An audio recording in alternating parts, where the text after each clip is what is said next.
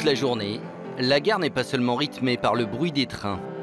Une autre musique résonne sous la verrière au milieu du hall. Comme partout à travers le monde, la station n'échappe pas à la mode des pianos en libre service. Si certains pianistes n'ont qu'une seule groupie. Les pianos de Saint-Pancras ont changé la vie d'un ado londonien. Cole, 15 ans. Il y a deux pianos. Il y a un noir ici et un marron un peu plus loin. Celui-là a été offert par Elton John. Regardez, il l'a même dédicacé.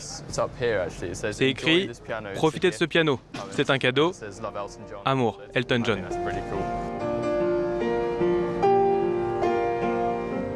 C'est avec le célèbre morceau de Queen Bohemian Rhapsody que Cole a enflammé les réseaux à seulement 12 ans. Sa prestation a été visionnée plus de 111 millions de fois.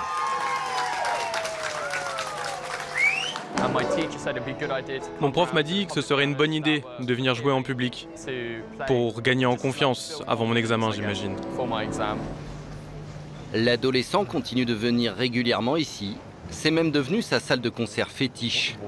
Avec son suite à son nom, il a ses petites astuces pour gagner des nouveaux fans. Cole s'installe face aux portes de sortie de l'Eurostar, sur le deuxième piano. Il est 13h28. Je vais attendre un peu.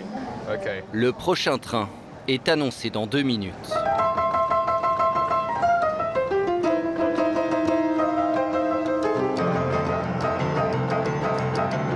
C'est sur un air de rock'n'roll que les passagers débarquent à Londres.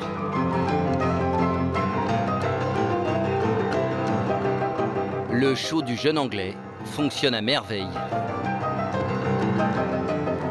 Ah, c'est magnifique On vient des Bermudes, on n'a jamais vu une chose pareille.